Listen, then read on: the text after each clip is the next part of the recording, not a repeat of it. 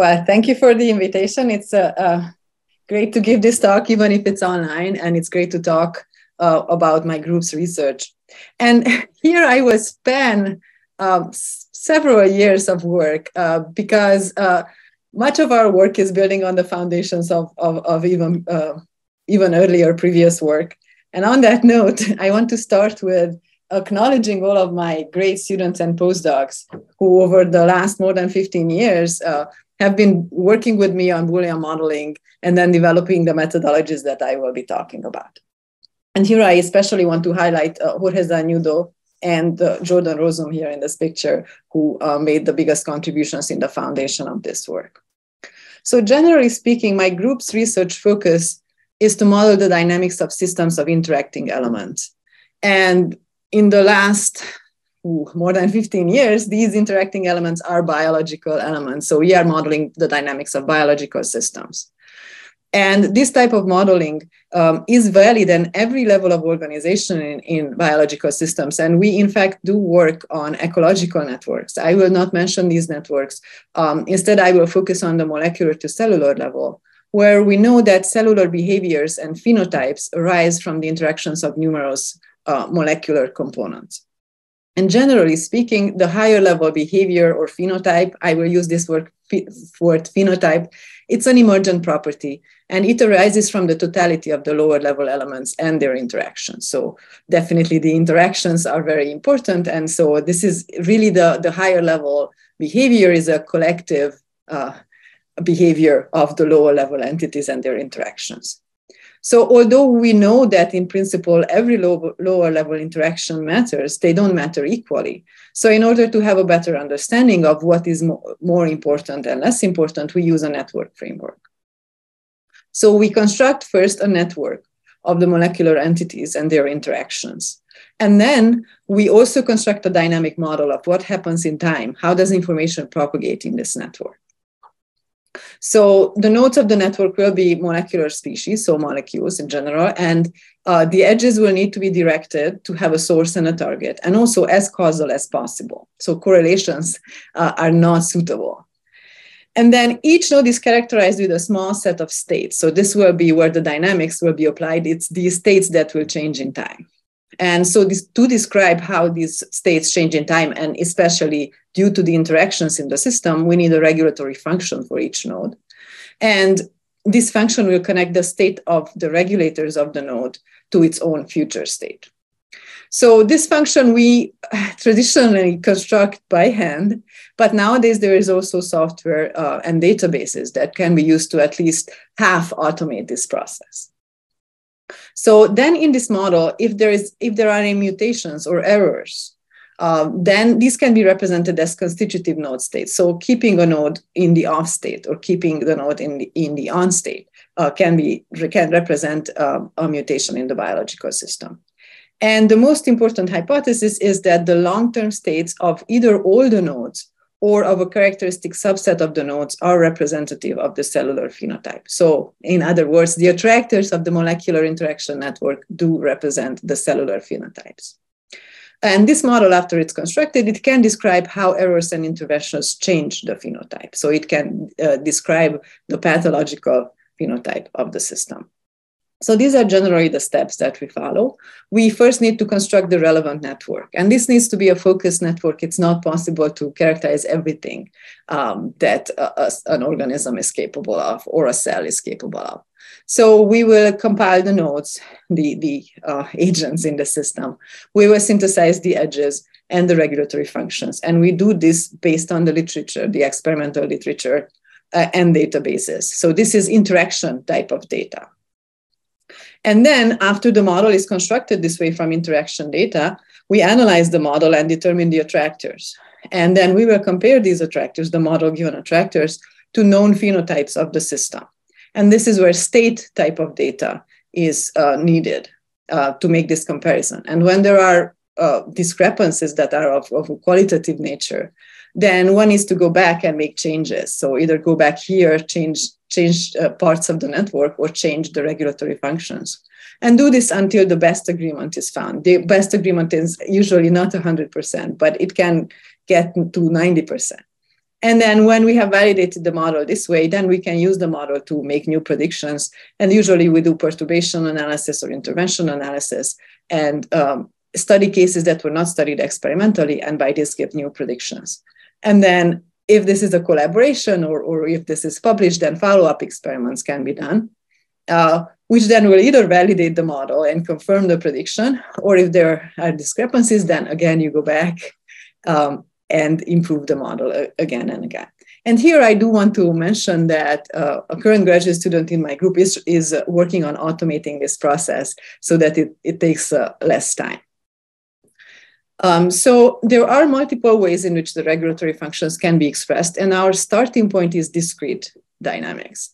So we use a small number of discrete states to characterize the nodes. So this can, can be as few as two, which would mean active versus inactive, or maybe three, having a low, medium, and high level. And the available experimental data inform how many states to use. The more the resolution in the experimental data, the higher the resolution that we use. And usually there isn't, there is very little known, so there isn't enough resolution, so we go with the simplest. But that doesn't mean that we stop at the simplest. We really um, characterize it in as much de- detail as much detail exists. Then, whether there are just two levels or multiple levels, the regulatory functions can be specified as tables or with Boolean logic. And here, this example is the truth table of the OR function, the Boolean OR function. And as a general guideline, if there are inhibitors, they will uh, be represented by uh, adding in front of them the not operator. So their absence is a requirement for a target node to be activated independent regulators will be chained with an OR function, meaning that they are independently successful in regulating the node. And uh, conditional regulators will be represented by the AND function. So in our models, time is an implicit variable. Instead of continuous time, we have node updates. And I will not go into the details of that, I will just mention that there is always an element of stochasticity in the update so that we can probe uh, different kinds of time scales and, and we are not uh, you know, fixed or, or limited to any specific assumption about the timescales. And even though the model itself is discrete, we can do replicate simulations, especially that we have this stochasticity in timing. And the, a large number of replicate simulations will be able to give continuous outcomes. And I, in case this is something that you have not seen before or not, uh, not seen before applied to biological systems, I do want to mention that this type of logical modeling has had a great success in describing biological systems over the last 20 years.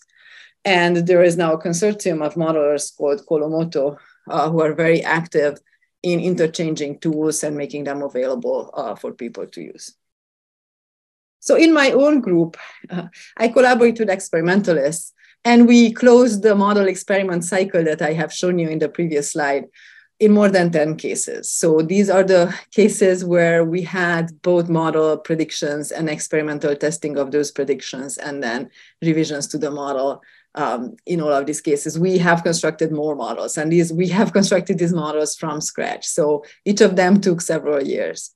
But now I'm very happy because based on this uh, expertise that we have developed, uh, we are able to make generalizable conclusions. And also in all of these specific cases, we made specific predictions.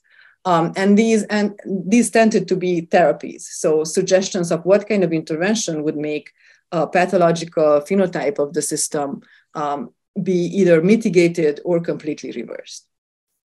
So I will mention three of these models in my talk. So first, let me give you a, a, brief illustration of how a discrete model works and how it's able to uh, describe uh, attractors in the system. So my very, very simple prototypical model will have an external signal and also a context. So a context is anything that's not explicitly part of the model. So in a way, it's equivalent to a signal. And then um, this says these three nodes are really the nodes of our system. And uh, these, in this case, are Boolean. In this simple example, they are Boolean, and the Boolean function is written right next to them.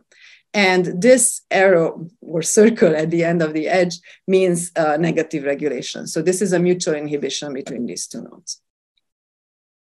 So uh, the function of node A says that node A will turn on if the signal is present or if node B is uh, off, it's inactive. So let's consider a situation, an initial condition where the signal is present and the context is context zero. So because the signal is present, node A will turn on. So in the next state, whenever that is, A is active. And then because the function of C is that C will turn on if either A or B is on, C will also turn on next. And this state of the system will not change anymore. So even though we would be looking at a node and applying its regulatory function, the regulatory function would give back the same value, uh, meaning that this is a point attractor of the system, also called steady state. So this way, we have in fact simulated the trajectory of the system from an initial condition um, to the final attractor. And this, with the same way, we can consider every combination of the signal and the context and find all the attractors of the system or the attractor repertoire of the system. And these five are the attractors of the system. So in each of the conditions, there are there is one attractor, except that for this condition, there are two possible attractors. So the system is bistable in this case. So the model can find all the attractors and all the trajectories that lead to those attractors.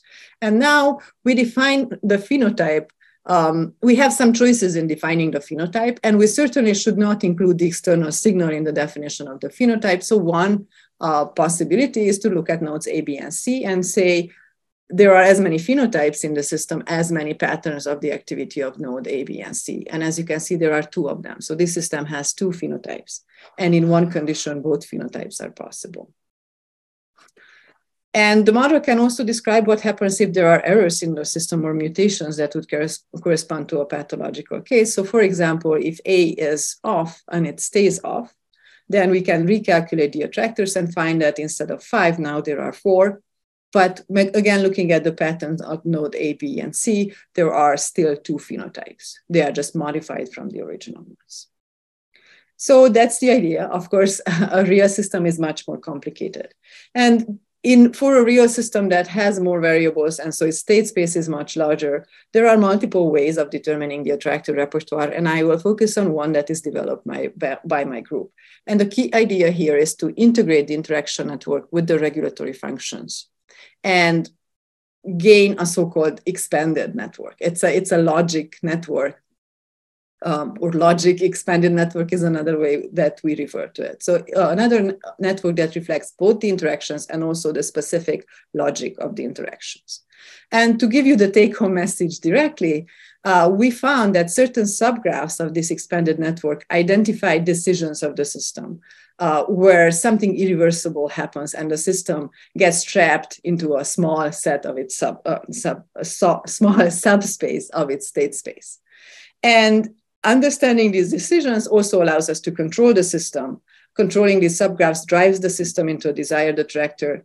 And having this understanding is able uh, to lead to applications um, and, and therapies. So now I will go into some details of this. So, how does this expanded network work? So, for each state that a node can have, which can be two if, if it's Boolean, but more than two if it's multi-state, multi-level, uh, there will be a virtual node. So for example, if node A can have three states, one, zero, one, and two, there will be three virtual nodes. And then in the regulatory function, the OR relationships don't need any um, specific accommodation, but the AND gates um, should in fact be represented by hyper edges, so edges that start from multiple starting points.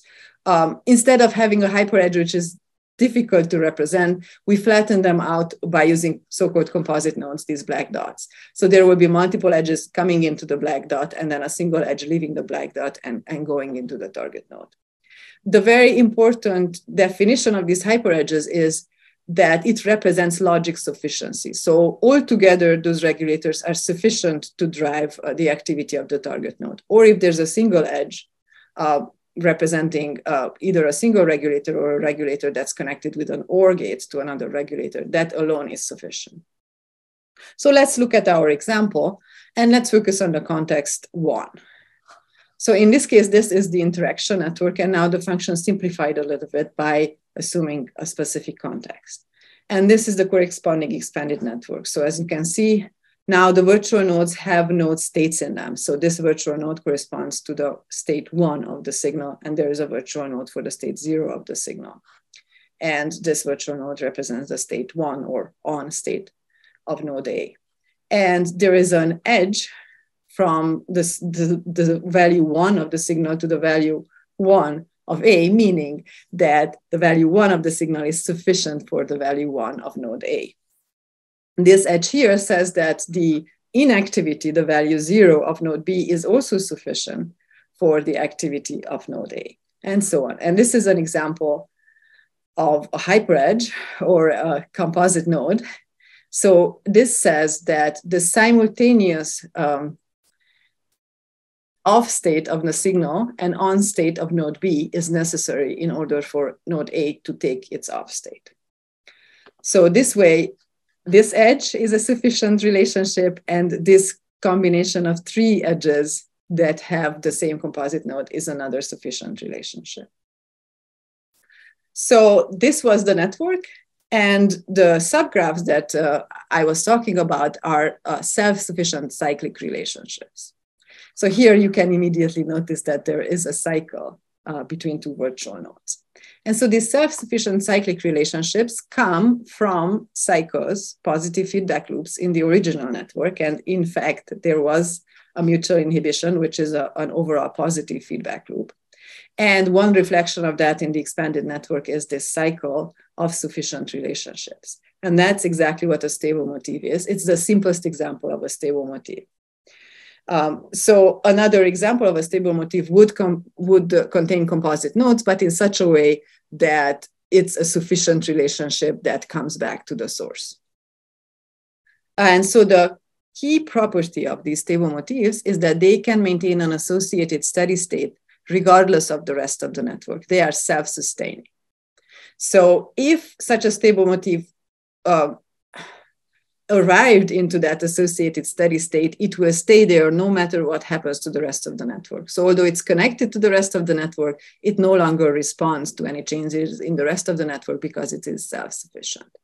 And the fact that this subset of the nodes um, is fixed and stays fixed from then on forever, this traps the system into a subspace. So, so a certain degree of freedom disappears from the system. And potentially, maybe all the freedom disappeared from the system. And that's the case in this very simple example, because if this stable motif locks in, that means that A is in the uh, one state and B is in the zero state, which will also imply that C is one. And that completely determines um, the attractor of the system. And in fact, we have seen previously that no matter uh, what the value of the signal is when context one is, this is the attractor of the system. So the locking in of this stable motif completely determined the behavior of the system. In other cases, the single stable motif is not sufficient. And this is a real example. It's an interaction network of uh, proteins called cyclins and their helpers, the cyclin dependent kinases, um, that um, determine the phase of the cell cycle. So this is the network. It's an 11 node network. And you can see there are multiple mutual inhibitory loops and also positive feedback loops. And these are the stable motifs. And the stable motif is both the network motif and the associated state. And the state is encoded in the color. So gray means off and blue means on. And so the, the original system has three stable motifs, and either one of them can lock in. Uh, and that's a decision in the system. Whichever locks in first, then that's that's an irreversible commitment. And if the motif P2 locks in, that completely determines the attractor of the system. But in the other two cases, that's not a complete commitment yet. There are still multiple ways to go. And you see P0 can be followed up by one of four uh, stable motifs, and P1 can be followed up uh, by one of two. So there is a, is a gradual um, or incremental trapping of the system um, ultimately into an attractor. And the three attractors of the system represent different uh, ways of cell cycle arrest. So the cycle, cell cycle not progressing. And this is an illustration. So it's an equivalent illustration of the of uh, this uh, so-called succession diagram of the stable motifs. Oops, sorry. So these states are states where no stable motif locked in yet. Um, and these are Garden of Eden uh, spaces, so not just Garden of Eden, states, but spaces, so there are more states. And the property of these is that if the system gets out of such a state, it will never, never come back. And then these gray circles and ovals represent the stable motifs. And as the system goes through the different decisions, so this is the, here, these are the, this is the succession diagram repeated exactly the ovals get smaller and smaller, and ultimately the attractors will be at the intersections of the ovals. And this representation and also the succession diagram is an equivalent reduced but, but lossless compression of the so-called state transition graph that would contain every state of the system and every transition between them. So this is the state transition graph. It's, it's very non-approachable visually. The only way only reason why we see something is that it's colored the same way as the succession diagram. Uh, so only after understanding the succession diagram can we understand the state transition graph.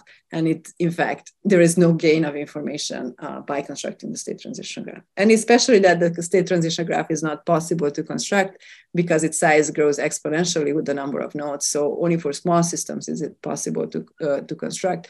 The succession diagram is a much better representation of everything that the system is capable of and, and, and looking at the um, successive commitment of the system and ultimately finding uh, the attractor. So I will not have time to go into details, but I do want to stress that we have uh, expanded the concept of stable motif uh, to continuous systems as well. So the concept is preserved and it, it is applicable um, in differential equation models as well. Um, so it's for specifically for this very general form of differential equations where there's a synthesis term and a, and a degradation term. And both of these functions are monotonic in their argument. So each node of the expanded network of the continuous system is a threshold statement about a continuous variable. The expanded network is not unique as in the uh, discrete system, but nevertheless, it is possible to construct. And the edges mean the same thing as, as in, the, uh, in the Boolean system, maintenance of truth of a statement. So for example, in our system, oh, sorry, um, in our simple example, uh, the virtual nodes now may be statements like A, the value of A is larger than 0.7, and there is a positive feedback, a mutual uh, sustenance between a high value of A and the low value of B. So the concept and, and, and also the representation of the stable motif is the same. So generally, if a system satisfies the statements that form a stable motif, then it will keep satisfying them regardless of the rest of the network. And this traps the system into a subspace. So let me give you a real example. It's uh, based on a Hill function uh, model of uh, T-cell signaling. Um, this is the network and uh, the, the parameters of the Hill functions are, uh, are on the edges. The network is strongly connected, but not all the uh, nodes participate in the stable motif. This node TCRP actually is not part of the stable motif. Um, and when you look at the statements um, of the virtual nodes, one variable is very constrained. So it is constrained to have a high value or a value very close to one, but the rest are not constrained uh, uh, much at all. And here we can verify that indeed, no matter what we do to this node, which is not part of the stable motif, the stable motif will not be destroyed uh, the variables in the stable motif will still keep uh, satisfying their threshold. So in these representations, the dashed lines correspond to the thresholds. And so we look either at the unconstrained uh, dynamics or the dynamics of the unconstrained system. This is the first case. Or we saturate, so we give uh, the maximum value to this node, or we knock it out completely or we make it oscillate with a huge amplitude. As you can see, the continuous lines are still within the bounds that correspond to the thresholds. So the stable motif uh, is still preserved. So now back to Boolean systems. Here's another real example. This is a model of T-cell signaling uh, in the context of disease TLGL leukemia. And in this model, uh, we have found out that by, by a Boolean model of this uh, system, we have found out that there are two attractors, two phenotypes, and one corresponds to the normal behavior in the system, which is uh, programmed cell death apoptosis. And the other is the survival of these T cells that are, in fact, not supposed to survive. And that is actually the uh, cause, uh, cause of the disease. So leukemia is the representation of that. And this is the stable motif succession diagram. And what you can notice is that at multiple points in this uh, diagram, there are multiple branches. And the system takes one of the branches. This represents a decision in the system. And several of these stable motifs are mutually exclusive. And the clearest example here is the teal motif versus the red motif. The same three nodes are in the off state in the teal motif and in the on state in the red motif. And the on state is also combined with the off state of a fourth node. And if the red motif stabilizes, that leads to the leukemia attractor. If the teal motif stabilizes, then there are some other stable motifs that need to lock in, but there are no decisions. And there's a third motif, which if it uh, locks in, the system is so the system's degree of freedom reduced by just a tiny amount, but there are lots of uh, possibilities for the decision. But then after that decision is made and either the teal or the red motif locks in, then the outcome is again given. So this way, uh, this interplay of the mutually exclusive stable motifs determines the attractor repertoire of the system.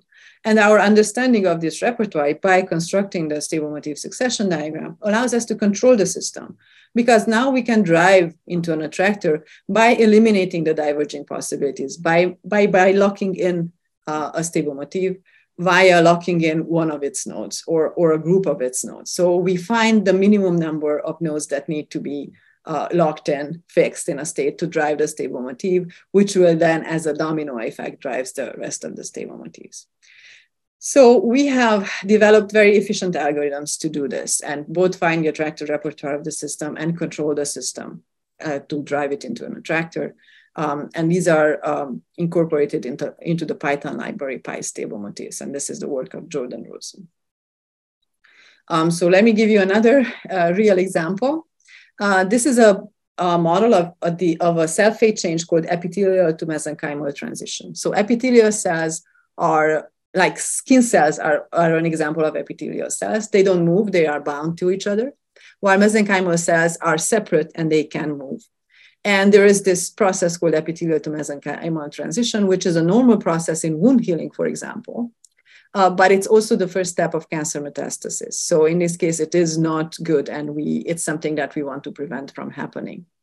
So my former MD PhD student, uh, Steven Steinway, constructed the network and also the model corresponding to epithelial to mesenchymal transition, or EMT, in response to um, any of 12 different signals. These signals are shown in blue in this case. And he focused on a single uh, marker of this transition, and that is the transcriptional downregulation of the binding protein E-cadherin. So E-cadherin is the outcome. It's, it's low activity or low expression um, is the step that's shown here as a marker of the transition. And the network sh shows everything in between. So this network has eight stable motifs, and these are, I'm showing four of them um, and the color again represents the corresponding states. And it turns out that any one of these stable motifs is able to lead to the downregulation of E-cadherin, so to lead to the corresponding phenotype. And any of the signals can drive all of the stable motifs. So in fact, there is, is a very remarkable robustness in achieving this attractor. So any of the signals can is sufficient, logically sufficient to activate all of the stable motifs, any and all of the stable motifs. Any of the stable motifs is able to activate any and all of the stable motifs, and any of the stable motifs is uh, able to lead to the outcome. So, unfortunately, uh, in, in terms of uh, therapies, this is difficult to reverse. But nevertheless, we asked what, uh, what does it take to prevent um, EMT in response to one of the specific signals, TGF beta? And also, what does it take to reverse, to, to lead to the reverse process, make the mesenchymal cell into an epithelial cell? And I will just quickly give you the answers. So it takes a two node intervention, a specific two node intervention to prevent TGF beta driven EMT. Um, and one example of that is to disrupt uh, the protein SMAD and, and the protein RAS. And there is five other possibilities, and Steve Steinway did verify experimentally that these, uh, in fact, did work. Um, and a single intervention is never successful, and that actually drives the system on into, into an even more pathological phenotype. And in order to revert the transition, we will need to lock in the stable motif that corresponds to the epithelial state. And this is the stable motif. It includes 66% of the original network. So a very large fraction of the original network. Uh, but it takes only a perturbation of five or intervention into five nodes, one in each of these yellow domains to lock in the stable motif and achieve the epithelial uh, phenotype. So my last example, real example, is our recent model of another phenotypic change, um, yeast to hyphal transition in um, C. albicans. So yeast are like small spherical cells and the hypha are branched structures. Um, and this yeast to hypha transition is the first step of, uh, of um, C. albicans becoming more pathogenic and, and being uh, able to better spread in the host. So we modeled um, the network that responds to three different signals in the environment and the, the markers of or the phenotypes of this uh, transition. And so there are two specific phases, the hyphal initiation phase and the hyphal maintenance phase, which we represented as separate nodes. And different sets of genes are transcribed and work together to lead to these different stages. So this is the succession diagram that corresponds to the case where the environment is favorable for the transition. And as you can see, there are multiple stable motifs.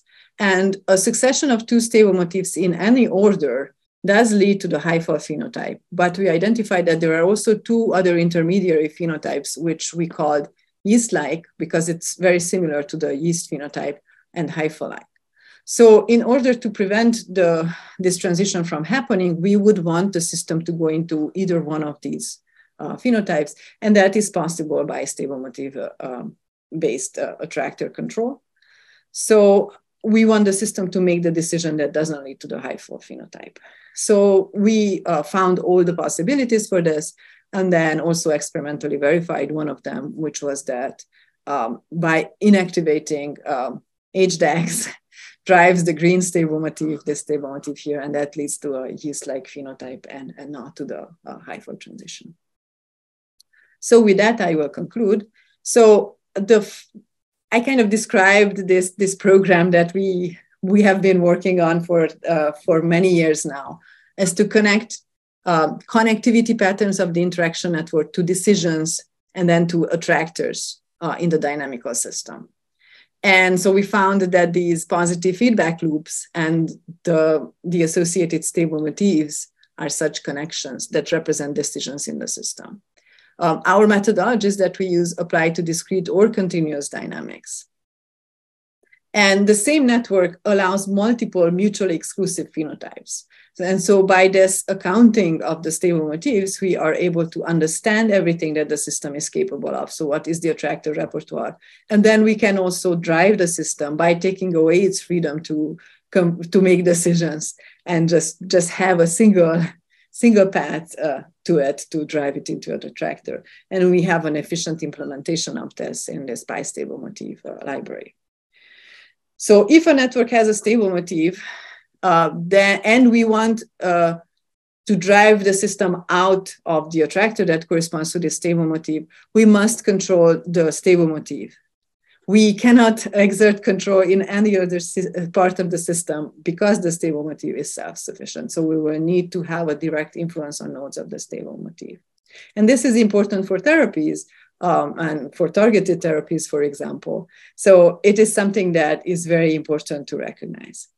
And so finally, I want to thank all of, uh, um, all of my students and postdocs who worked on this.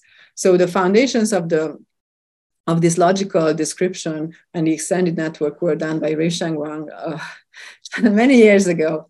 Um, and the concept of stable motif is due to Jorge Zañudo, and then Jordan Rozum is the one who made the current implementation, which is very, very fast and efficient. Um, and everybody else here made uh, key contributions, which I tried to summarize here. So thank you very much for your attention, and I will be happy to take questions.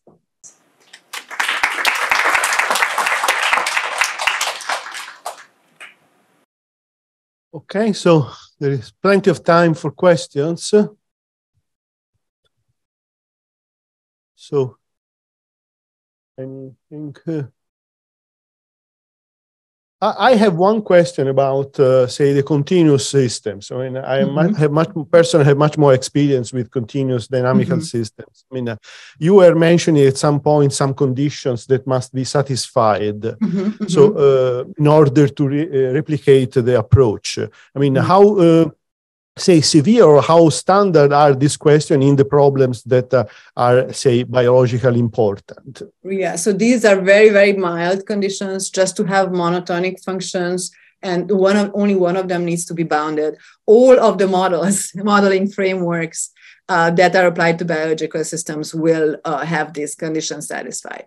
Most of the models use hill functions and hill functions do satisfy these conditions uh, but it doesn't uh, so these are really very mild.